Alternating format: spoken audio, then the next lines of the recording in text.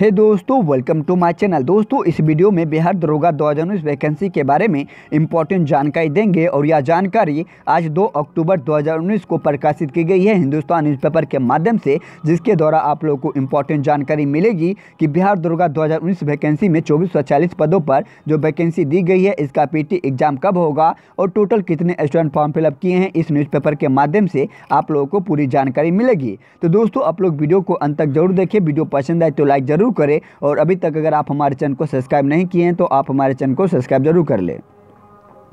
तो दोस्तों, आज 2 अक्टूबर 2019 को गांधी जयंती के 150वीं जयंती के अवसर पर आज हिंदुस्तान न्यूज़पेपर के माध्यम से यह जानकारी प्रकाशित की गई है। तो दोस्तों, सबसे पहले गांधी जयंती की आप सभी को हार्दिक बधाई। तो दोस्तों, इसमें बताया जा रहा है कि दरोगा बहाली पीटी 22 दिसंबर को संभव है। यानी दरोगा सर्जन और सहायक जेल अधीक्षक के लिए प्रारंभिक लिखित परीक्षा बाईस दिसंबर को होगी। बिहार पुलिस अफसर सेवा आयोग इसके लिए तैयारी में जुट गया है। राज्य के छत्तीस ज़िले में इस दिन सेंटर उपलब्ध कराने की अनुरोध किया गया है। आयोग के विशेष कार्य पदाधिकारी के मुताबिक प्रारंभिक लिखित परीक्षा के लिए 22 दिसंबर 2019 को संभावित तारीख तय की गई है। इसके इसके ध्यान में रखकर तैयारी में, तैयारी की जा रही है और राज्य के छत्तीस जिलों से लिखित परीक्षा के लिए सेंटर उपलब्ध कराने को लेकर पत्र लिखा गया है। इस दिन इस दिन सेंटर उपलब्ध हो जाता है तो इसकी अधिकारी जानकारी अभ्यर्थियों को दी जाएगी और इसके प्रवेश पत्र भी जारी कर दिया जाएगा। वहीं बिहार दुर्गा 2019 वैकेंसी में टोटल फॉर्म फिलअप की बात करें तो इस न्यूज़पेपर के माध्यम से जानकारी मिल रही है